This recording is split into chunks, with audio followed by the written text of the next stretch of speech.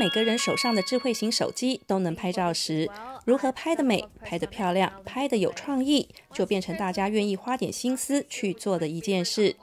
为了应应大家的需求，各式的相片后置 APP 也一直是应用软体下载排行榜的前几名。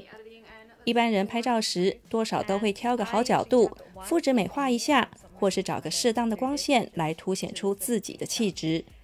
但是在越来越强大的软体帮助下，相信也有不少的网友在虚拟世界里面看走了眼。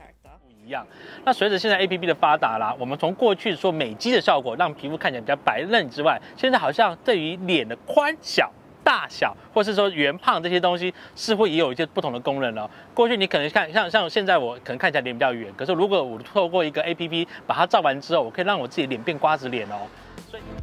Daily View 网络温度计从上万个网站以关键字分析出十大修图 APP 生活大数据。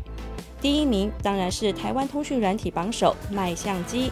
第二名美图秀秀，第三名 B 六一二，第四名是香蕉相机，其他还有 Selfie City 潮自拍、美颜相机、美妆相机、MyCan 等等。哇，许多可能原本在电脑上面才能满足的修图功能，通通在这部分都可以满足了。因此。呃，我才会个人认为说，现在其实如果你是要让照片部分来讲有一定的品质跟水准，但是又不希望说花到非常高档的数位单数位单影相机的情况之下，那你就可以考虑这些不同的 A P P 所带给你的要求跟效果了。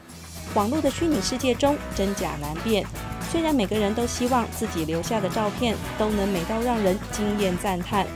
不过大家在申请证件时可别用错照片喽，免得在虚实不分的情况下产生了麻烦。